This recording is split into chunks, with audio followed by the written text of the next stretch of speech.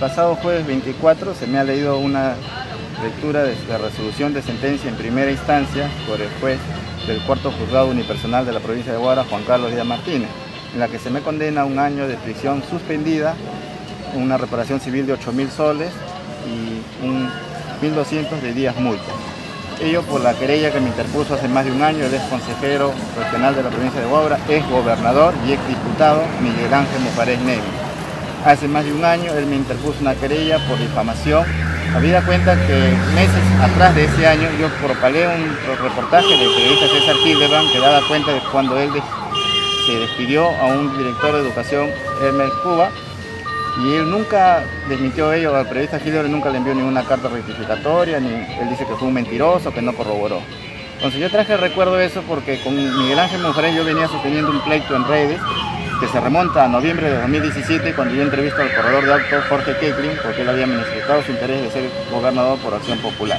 Yo lo entrevisto a Jorge Keklin y Miguel Ángel en el chat que se genera en internet comienza a comentar qué entrevista parechada, qué buena mermelada, qué es ese periodista que no pregunta ni repregunta. Bien, Luego yo me comunico con Miguel Ángel, lo trato de preguntarle por qué había hecho esos comentarios, sobre todo el de la mermelada. Ustedes saben que decirle a un hombre de prensa mermelero es equivalente a coimero. Entonces, si él tenía esa prueba, yo dejo de ejercer el periodismo. en 11 años que vengo ejerciendo el periodismo, nunca le he requerido a ninguno de mis entrevistados alguna, alguna cuestión de esa naturaleza, o al menos que alguien me lo desmienta. Entonces Miguel Ángel no me respondía el teléfono, por inbox tampoco. Al final me vine a responder pero con insultos de cucaracha de M, mente retorcida, que va a hablar con el dueño del canal. Él creía que el dueño del canal era el actual gobernador Ricardo Chavarría, pero no, yo estaba en otro cable. Ahí parece que se confundió para que te voten del canal. Entonces, así, bueno, a mí ya los insultos, a uno, a periodistas también le insultan de todo, no me tomaba tanto interés, pero lo que sí me preocupó es cuando me amenaza de que me iba a sacar del, canal, del programa. Yo dije, de repente Miguel Ángel lo ha hecho, en base a este antecedente que hizo con este profesor.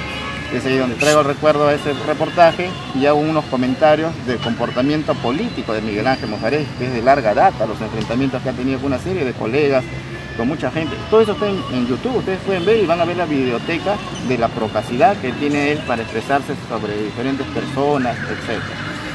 Entonces, en ese sentido, hace dos meses que ya se entabló el juicio formalmente y, él no se ha acercado.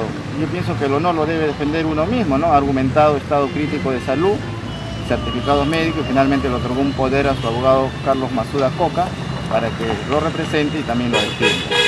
En ese sentido, mi abogado, que es el doctor Jorge Romero Chávez, impugnó ese poder, habida cuenta que no está fehacientemente dado para esta querella, es un poder muy amplio y hay antecedentes, hay uno que el poder tiene que ser explícito. Entonces, hemos impugnado eso, pero el juez lo ha desestimado. Se ha apelado eso y eso ya en segunda instancia una sala va a tener que pronunciarse sobre ese tema y el día de mañana estamos ingresando formalmente la apelación a la sentencia que se ha dado el día jueves 24. ¿no? ¿Cuál crees tú que sería el motivo por el cual él está persistiendo en, tu persona en querer eh, darte una, pena en este caso? ¿Habrá algún, de repente algo político con tu persona solamente? Porque sabemos que contra él como autoridad han habido muchos, muchos casos de, de críticas, ¿no? Sí, uno realmente a veces me da la impresión que Miguel Ángel se ha desentendido de este tema.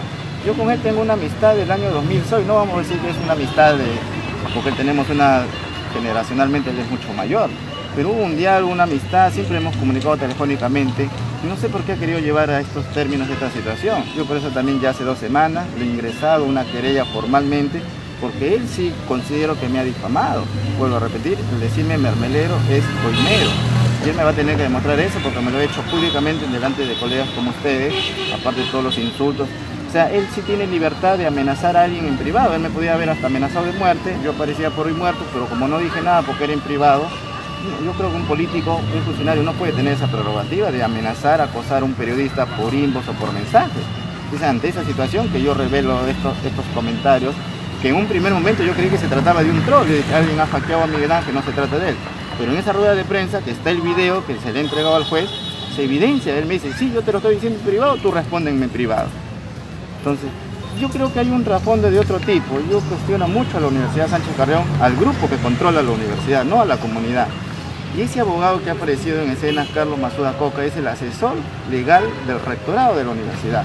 me da la impresión que más parece que es una vendetta, una venganza del grupo que controla la Universidad de Huacho, que ha aprovechado este caso de Miguel Ángel, le han dicho déjanos, nosotros nos encargamos de Ortiz y ya no hay necesidad ni siquiera de que tú vengas.